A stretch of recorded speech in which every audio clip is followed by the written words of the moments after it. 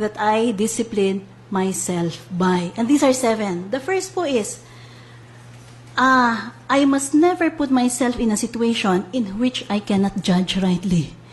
In other words, kung alam ko po na darating ako sa punto ng alanganin, dahil po ako'y napaka-active sa isang social and civic organization, dahil po ay ako'y nakapagkikiskis ang braso sa mga negosyante, dahil po ako ay maligimit nakikita sa party, magkakaroon po ng mas malaking chance na isang partido ay sasabihin, inhibit yourself, kaibigan ka ni Pedro at ni Juan.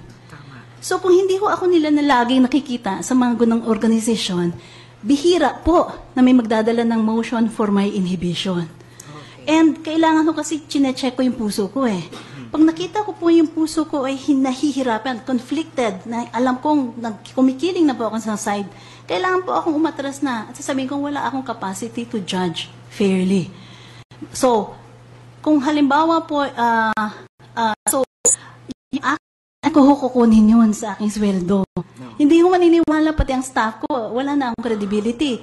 Paano ho ang aking pananamit? Paano po ang aking kasuotan, sapatos ko? Ano po ba ang kinakain ko? Nais ko po na ang Pilipino malaman na kung ang ka, kinakain nila sa pang-araw-araw ay kinakain ko din. Kaya kailangan ko pong magpasalamat araw-araw pag ako ay nasasarapan po sa dinengdeng at pinakbet, sa gulunggong at tilapia, kasi alam ko po na kung kaya kong ipakita na ang buhay ko ay hindi man kaiba sa inyo. Hindi po nila nasasabing, ikaw, andyan ka lang eh, hiwalay ka kasi masyado kang nasa taas. Na palagay namin, kaya ka, kaya mo kaya yung ganyan, kaya mo kaya yung bakasyon, kaliwat kanan, eh kasi may ginagawa ka. Dapat po hindi nila pag-isipan na may kalokohan ka. Kasi yun po ang essence din ng, ju- ng, ju- ng justice eh. Dapat naniniwala sila na ang intention mo ay hindi mali. Yung pangatlo po is, yung akin pong trabaho. At ang trabaho, mababasa nyo sa aking desisyon, resolusyon, opinion. Kailangan pong nakikita ng aking kaluluwa at ang aking utak ay nandun. Kailangan ho pagtataya ng sarili ang pagtrabaho. So, ang ginawa pong work ethic ko, eh, ang sinasabi ko po, kailangan kong pong talunin sa sipag, tsara, at talino po. Kung ano man, kung ano man ho yun na, na kakayanan. Talunin ko pa ang trabaho ng mga lawyers sa Makati. Kailangan kikita na yung quality ng, ng aking trabaho ay napakataas na na nasa napakataas na antas. At kailangan po ko pong maniwala ng mga bawat Pilipino na bawat salita at bawat linya sa aking trabaho ay galing sa isip at galing po sa puso. Ako po yun. Katako po yung nandoon. Yung pang-apat po na rule is, ah, medyo sabihin naman nila, dramatic ito. Pero tingin ko, simple lang po eh. Magsabi po ng totoo. At gawa at mag-build up ng reputation na nasabi ka ng totoo.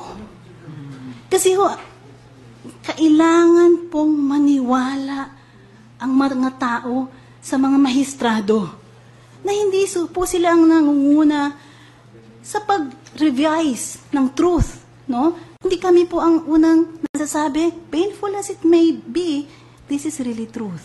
And you know, pag, tu, pag po nag, ginagawa niyo po yun, masakit po yun. Mahirap pong gawin. Mahirap pong gawin. Lima po, pag nag-stop na pong maging masakit para sa akin, na makakita ng injustice. And injustice has many forms. Even delay and the thought that somebody in lang- is languishing in jail is injustice na po. If it no longer hurts, then I'm no longer keeping my oath. Because my, my, my heart has to be in my job. And if I see injustice continuing and it is already calloused, then I'm no longer fit to stay. And then sixth, kailangan ho kasama ko yung pamilya ko dito. Kailangan po manumpa silang lahat na gagawin nilang lahat ng kakayanan nila upang ingatan po ang aking reputasyon. So yung mga kaibigang humihingi po ng pabor, yung mga gustong magbulong sa asawa ko, alam na po nila yung mga ah, messages na pinapahiwalig ko. Hindi na po beyond that. So sila po, sanay na po sila na yung mga friends nila, eh, nawawala, nalalagas. At yung mga friends nila eh, may sisimulan pa lang, ep, tigil ka na. Hindi mo pwedeng sabihin sa akin yan. At yung pangpito po na, alam mo, imposible kasi yung anim eh. Ah, No po. Kailangan, the only way it can be possible, hihina po ako. So it all depends on the God whom I see from an eternal perspective. Yun po. So pag, ang, ang hope ko po, itong pitong rules na pong ito, if I live by them, then uh, I, I really, ako as a, I, I will be a public servant after God's own heart. so, sa nakikita ko, yung pitong panuntunan nyo ay nakasulat. Sinulat ko po, dineliver ko po sa Ateneo de Davao. Ah, I see. So, yan po ba ay nakakwadro nakalagay sa inyong opisina para tagapagpaalala ng panuntunan yung ito? Ang nasa puso po, nasa liwa, Oo. pero napakaganda po ng suggestion nyo. Gagawin ko pong ilalagay ko po sa kwadro. Salamat po sa wikang pambansa po. sa wikang pambansa. Okay. Kanina ay inamin nyo na kayo ay 52 taong gulang. Opo. At kung kayo ay papalaring matalaga bilang punong maestrado, ay kayo ay magsisilbi sa katungkulang ito ng labing walong taon. Opo. Okay.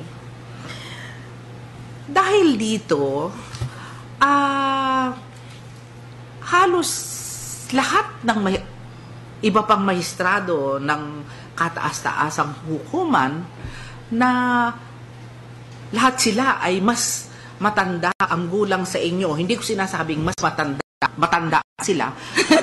mas matanda ang gulang sa inyo ay mawawalan na ng pag-asa na umabot pa sa kataas-taasang ah, kat- dahil dito ang inaalala ko lamang kayo kaya na siyang pinakabatang mahistrado kung matatalaga bilang punong mahistrado ay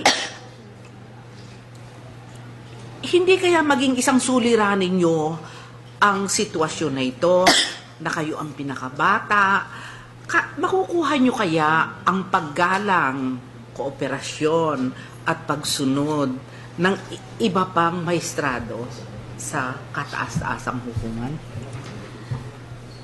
Ang lahat po kaming maestrado sa Korte Suprema, iisa lang po naman ang sinumpaang sa panunungkulan. Okay. Iisa lang po rin ang konstitusyon na aming ini-interpret.